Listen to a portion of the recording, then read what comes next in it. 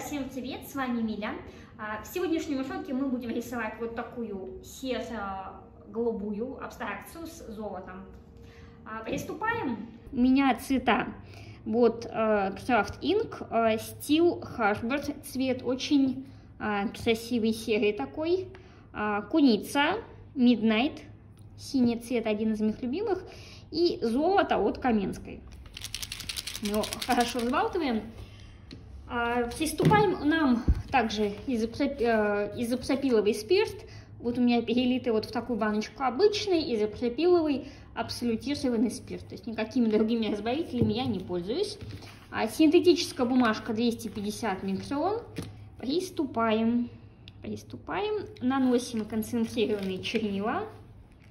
Может даже где-то их так вот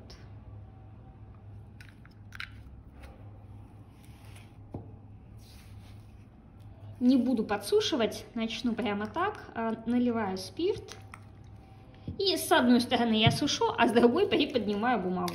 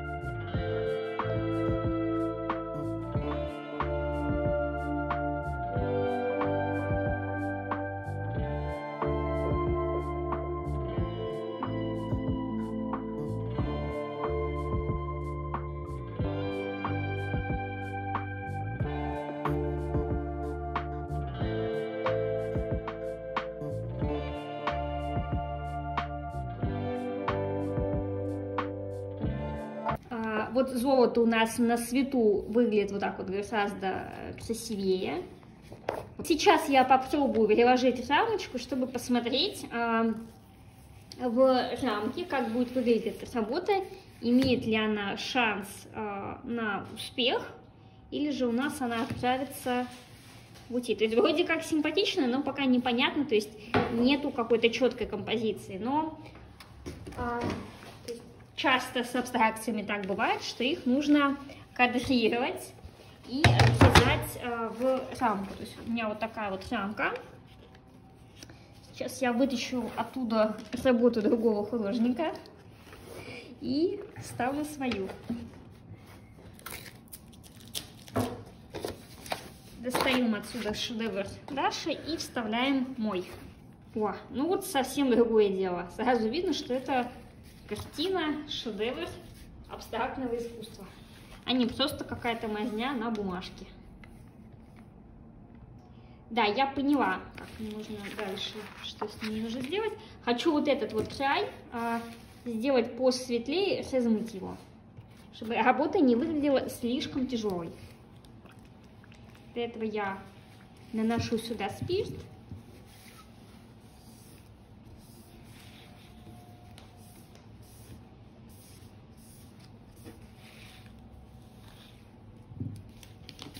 В абстракции очень важна именно композиция. То есть не так важно даже, как у вас э, лягут эти пятна, то есть они будут читаться, если будут расположены а, грамотно по композиции. А, можно изучать композицию э, по книгам, по примерам. То есть, ну и в основном, конечно, это насмотренность э, влияет. То есть, когда много рисуешь абстракций, то появляется какое-то представление о том, а, что смотрится хорошо, что и как улучшить.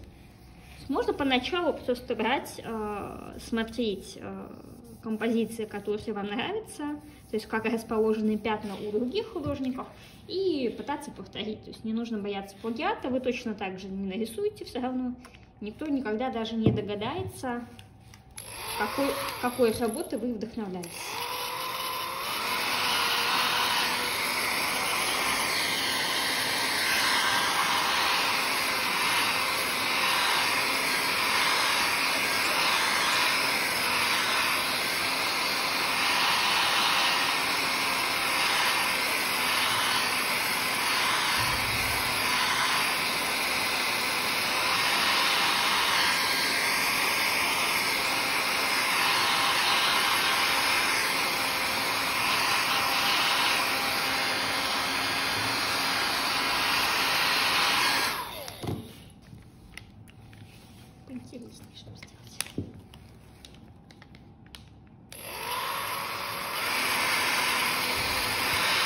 Дребезжат, дребезжит фен, чувствуем. Вот бедняжка прям на износ его. Никто, наверное, столько волосы не сушит, сколько мы рисуем.